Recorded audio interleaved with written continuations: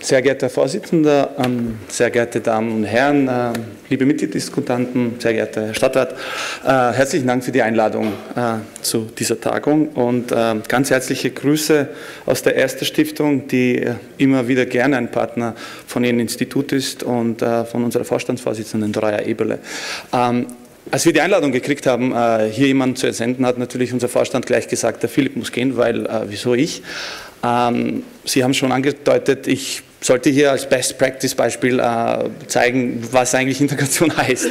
Das ist immer eine bisschen undankbare Rolle und ähm, ja, ich werde versuchen, ähm, ein bisschen auch persönlich äh, Integration näher zu bringen, aber auch äh, in einen größeren Rahmen und vor allem aus einer anderen Perspektive, da ich kein, bin kein politischer Beamter, wieder bin ich äh, irgendwelchen größeren Institutionen, Konglomeraten verantwortlich darzustellen.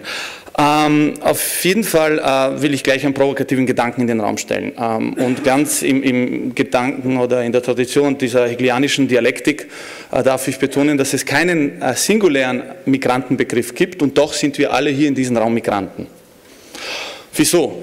Äh, wir müssen uns klar sein, dass wir die 10.000 Jahre Sesshaftigkeit hinter uns haben. Wir haben im 20. Jahrhundert und auch im angehenden 21. Jahrhundert äh, sozusagen die Werte der Sesshaftigkeit aufgegeben oder wir sind gerade dabei. Das sind Werte wie, die auf, ähm, wie der Besitz, der neu definiert wird, die Definition der Heimat oder des Heimatbegriffs wird neu definiert und äh, die Zweitrangigkeit der Frau, die uns über Jahrtausende begleitet hat und die Arbeitsteilungen, die werden zurzeit auch neu äh, aufgeschlagen und äh, das sind Prozesse, die im Gang sind und äh, die uns alle betreffen. Auf, zur gleichen Zeit ähm, sind wir oder ein Großteil von uns nach Graz migriert, sei es zu dieser Tagung, sei es äh, wegen persönlichen anderen Gründen. Wir migrieren heute zurück, wir bewegen uns ständig. Also diese Mobilität ist ein grundlegender Gedanke, der als Pfeiler einer, ich kann es so sagen, postmodernen Gesellschaft ähm, auf jeden Fall präsent ist. Ähm, auf der anderen Seite ähm, darf ich auch betonen, dass ähm, es äh, den Migranten als solchen, wenn wir es rein strikt nehmen, auch nicht gibt. Es gibt einen Flüchtlingsmigranten, es gibt einen Bildungsmigranten, es gibt einen Arbeitsmigranten, es gibt einen humanitären Migranten und so weiter und so fort. Also die Subkategorien werden wir vielleicht noch später von meinen Nachrednern hören. Auf jeden Fall, äh, was man da betonen muss, ist, dass es, äh, wenn es zu Migration kommt, und das ist ein österreichisches Phänomen, sehr stark auf den Leistungsprinzipien orientiert ist. Leistungsprinzipien sind zwar gut und notwendig und wichtig, aber die beziehen sich hauptsächlich auf wirtschaftliche Komponenten, auf demografische Komponenten. Und was hier ausgelagert wird, ist natürlich eine stark kulturpolitische Dimension. Und natürlich, Kultur ist alles und mit Kultur kann man sich immer schön ausreden und sagen, ja, mein Gott, äh, Kultur, Werte und so weiter. Aber wir alle oder alle Migranten haben äh, in unserem Kulturverständnis, Kulturverständnis eine Sache gemeinsam. Und das ist der Drang nach Freiheit. Alle Migranten migrieren und bewegen sich irgendwohin wegen ihres grundlegenden Menschenrechts dem Bedürfnis nach Freiheit, sei es seines wirtschaftliche, politische, kulturelle und so weiter Freiheiten. Ähm, insofern ähm, hat auch mein eigener, mein eigenes oder wurde mein eigenes Identitätsverständnis sehr stark äh, durch meinen eigenen Freiheitsbegriff stark geprägt. Und äh, da komme ich auch zu meinen vielleicht einen kurz äh, persönlichen ähm, Eindrücken oder einen kurzen Exkurs in mein Leben, äh, ich wurde Anfang der 80er Jahre in Montenegro geboren, das, und damals war es noch das äh, sozialistische föderative Jugoslawien. Anstatt der äh, knapp ein Jahrzehnt danach in einen blutigen Bürgerkrieg zerbrochen ist, wir haben hier Gäste aus, aus, der, aus Serbien, aus der Vojvodina, aus Bosnien, aus Kroatien. Sie, also Ihnen muss ich die Geschichte nicht näher bringen.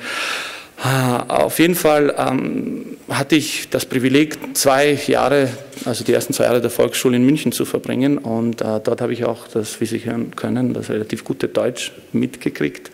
Dann hat meine Familie aber 1990, Ende 90er und Anfang 91 den Entschluss gefasst, als irgendwie Jugoslawien da an der Kippe gestanden ist, zurück nach Montenegro zu gehen, obwohl wir die Möglichkeit hatten, in München zu bleiben. Äh, mein Vater und meine Mutter, es waren typische Bürger Jugoslawiens und ich betone da mit Bürger Jugoslawiens, weil sie an die Idee geglaubt haben, ähm, wie so viele eigentlich. Viele, die dann natürlich durch dieses riesengroße Trauma durchgegangen sind, wo sie sich einfach 1991, 92 wiedergefunden haben und nicht nachvollziehen konnten, was es heißt, dass vor ihren Augen eigentlich ein Staat zerbricht, der irgendwie der große Traum war. Ein Staat, wo viele geglaubt haben, dass alles in Ordnung ist, wo viele geglaubt haben, dass es ein relativ gute wirtschaftliche Entwicklung gab, Leute, die einfach nicht sehr viel über den Freiheitsbegriff weiter reflektiert haben und Sachen als gegeben angenommen haben. Insofern habe ich dann äh, die 90er in Restjugoslawien, der Bundesrepublik Jugoslawien, Serbien und Montenegro verbracht, umringelt von tragischen Konflikten, äh, in äh, einer Anfang 91 in, unter Wirtschaftssanktionen bedingt und äh, natürlich äh, in einer Zeit, wo Sie können sich den Übergang vorstellen, vom ein, also aus München, wo wir gelebt haben, nach Podgorica, einer sehr kleinen Gemeinde, einer noch immer relativ armen Gemeinde, falls Sie jemals dort waren, äh, nicht gerade der schönsten Hauptstadt Europas. Und das war für einen Zehnjährigen schon ein sehr großer kultureller Umbruch und hat auch sehr stark auch zu meinem Verständnis oder Selbstverständnis äh, geführt, was eigentlich meine persönliche nationale Identität ist. Und dazu komme ich auch noch später. Auf jeden Fall, ähm, ja, ich war schon seit der frühesten Kindheit ein gebrandmarktes Kind. Und ich muss da betonen, äh, alle unsere Identitäten sind singular. Die sind sowas von einzigartig, denn ich kann meinen Werdegang, wo ich in den 90ern in Montenegro war und die Konflikte um, um das kleine Land herum so mitverfolgt habe, gar nicht mit den Erfahrungen von Leuten, die in Bosnien während des Krieges war, vergleichen oder von Leuten, die in Serbien oder in Kroatien waren. Wir alle haben äh, bestimmte Erfahrungen gesammelt, traumatische Erfahrungen, die uns zu dem gemacht haben, was wir sind. Und das hat auch unser Integrations- oder unser eigenes äh, äh, Verständnis oder Selbstverständnis stark geprägt. Das Profil, mit dem wir dann später in jene Länder ausgereist sind, wo wir jetzt sesshaft geworden sind oder zumindest glauben, sesshaft zu sein. Ähm, und insofern ähm, muss ich auch die Frage nach äh, multiplen Identitäten in den Raum stellen, weil jemand, der in in einem Land geboren wurde, dann in einem anderen teilweise in die Schule gegangen ist, dann in ein, das gleiche Land reemigriert ist, das eigentlich dann nicht wirklich das gleiche Land ist. Und dann äh, später mit 18 Jahren, so wie ich, äh, das Glück hatte, in die USA für ein Jahr zu gehen, um dort zu maturieren und nach den USA nach Österreich zu gehen und äh, dort ein Erstsemester an der Uni Wien zu skribieren, der hat natürlich äh, eine total andere Perspektive als jemand, der diese Prozesse nicht durcherlebt hat. Ähm, Sie erinnern sich sicherlich auch, um, ich darf Parallelen hier feststellen, mit Kindern von Diplomaten. Vielleicht sind einige von Ihnen Diplomaten oder ich habe zumindest in meinem Bekanntenkreis sehr viele Diplomatenkinder. Das sind auch Leute, die äh, alle vier Jahre irgendwo hin migrieren und natürlich durch äh, die eigenen Erfahrungen stark geprägt sind. Und äh, wenn Sie welche kennen, dann wissen Sie, dass gerade diese Kinder sozusagen ein sehr schwieriges Problem haben, wenn sie, sei es wieder zurück nach Deutschland oder Österreich oder wo auch immer aus ihrem ursprünglichen Heimatland zurückkommen haben. Ähm, ein anderes Beispiel sind auch Erasmus-Studenten. Ich war zu meiner Studienzeit in Wien, ich habe selber leider kein Erasmus-Semester gemacht, aber viele meiner Kolleginnen und Kollegen haben es doch gewagt und sind für ein oder zwei Semester in Ausland gegangen und vielleicht einige ihrer Kinder oder einige der Anwesenden. Und Sie wissen doch sicher, wenn, wenn, wenn jetzt ein Grazer oder ein Wiener nach Barcelona geht oder nach Paris oder Warschau oder Krakau, dann ist er vielleicht ein Semester dort oder zwei Semester und er kommt natürlich, oder sie oder er kommen dann natürlich total begeistert zurück und sie kennen die, die, die, die Leute fast nicht mehr mit dieser Begeisterung, mit diesen verschiedenen kulturellen Komponenten, die sie uns aus den, diesen Kulturzirkeln äh, mit nach Hause bringen. Ähm, insofern ähm, stellt sich natürlich die Frage, was es heißt heute, was überhaupt äh, der Begriff einer nationalen Identität darstellt, ob er überhaupt noch aktuell ist. Äh, und gerade diese nationale Identität ist heute, wie soll ich sagen, ähm, zweitrangig geworden. Wieso? Aus meiner Sicht war, gehört die Zukunft nicht mehr den Nationalstaaten. Äh, aus meiner ganz persönlichen Erfahrung darf ich sagen, dass die Nationalstaaten der Kern des Übels sind, in dem ich großgewachsen bin. Also ich rede davon konkret, konkret, über die Konflikte am Balkan, aber ich rede auch, wenn Sie sich die europäische Geschichte anschauen, über die letzten mindestens äh, 1000 Jahre, äh, wobei der moderne Begriff der Nationalstaats erst im 19. Jahrhundert geprägt wurde. Im Endeffekt nationales Denken hat auf jeden Fall äh, mindestens die letzten 150 Jahre stark geprägt. Wir hatten zwei Weltkriege, wir hatten dann diesen blutigen Konflikt am Balkan, wir haben heute lauter blutige Konflikte weltweit, die sich sehr stark auf nationales und ethnopolitisches Denken äh, sozusagen beschränken. Ähm, insofern ähm, muss ich betonen, dass äh, die Identitäten in Zukunft und äh, sehr stark äh, auf einen unteren Level geprägt werden. Und gerade weil wir heute in einer Gemeinde sind, gerade weil wir heute in Graz in der Steiermark sind, darf ich auch wirklich äh, betonen, dass ähm, viele von Ihnen oder viele von uns uns an erster Stelle auch als Bürger einer Stadt oder einer Gemeinde sehen. Ähm, viele sehen sich an erster Stelle als Grazer, dann als Steirer und dann erst als Österreicher und dann vielleicht im vierten Schritt als Europäer. Und natürlich dieser Gedankengang ist äh, ganz, ganz essentiell. Wir hatten gestern, und äh, schade, dass der Herr, Herr Schausberger gerade ausgegangen ist, auch ein sehr nettes Beispiel, wo er gemeint hat, äh, auch ein sehr persönliches Beispiel, wo er erwähnt hat, dass äh, seine Tochter lange in Graz lebt und äh, gerade ein Enkelkind gekriegt hat oder er ein Enkelkind gekriegt hat und das Kind jetzt ein Grazer ist. Und der Herr Schausberg als bekennender Salzburger und ein bekennender Europäer, ist natürlich jetzt mit dem, oder das war eine Frage, die direkt an ihn gerichtet ist, äh, mit der Situation konfrontiert, wie dieses Kind dann sich eines Tages empfinden wird. Also von Salzburg wird wahrscheinlich nicht diesen riesengroßen Bezug haben wie seine Tochter oder er. Es wird an allererster Stelle ein Grazer sein, 10, 15 Jahren, wenn es soweit ist und dann erst im zweiten Anlauf vielleicht ein Steirer und dann Österreich und so weiter. Und äh, genau diese Prozesse sind äh, jene, die uns äh, dazu bewegen, unsere eigenen Identitäten hinter nachzufragen. Ähm, 1990 gab es in, hier in Graz ein, äh, innerhalb des steirischen Herbstes einen Vortrag von einem meiner, meiner sozusagen großen akademischen Vorbilder, von einem Prager Kulturphilosophen, vielleicht kennen einige von Ihnen ihn, William Flusser. Äh, William Flusser hat äh, vielleicht sogar in diesen Räumlichkeiten, ich weiß nicht wo genau, einen exzellenten äh, Vortrag gehalten wo er sozusagen äh, damals schon, und wir reden über das Jahr 1990, er ist leider 1992 tragisch verstorben in einem Autounfall. Äh, William Flusser hat 1990 in Graz äh, die Definition oder die Redefinition des Heimatbegriffes verlangt. Ich meine, ich erinnere Sie noch einmal, 1990, ähm, wo er eigentlich schon damals äh, von einer heimatlosen Zukunft gesprochen hat. Ähm, was heißt eine heimatlose Zukunft? Sie müssen sich Heimat als Folgendes vorstellen. Heimat ist etwas, was unsere was ident ist mit unseren Hautfasern oder mit unseren Venen, die in uns durchgehen. Und was passiert mit jemandem, der von seiner ursprünglichen Heimat oder einem Migranten, der von dieser Heimat losgerissen wird? Er hat Schmerzen.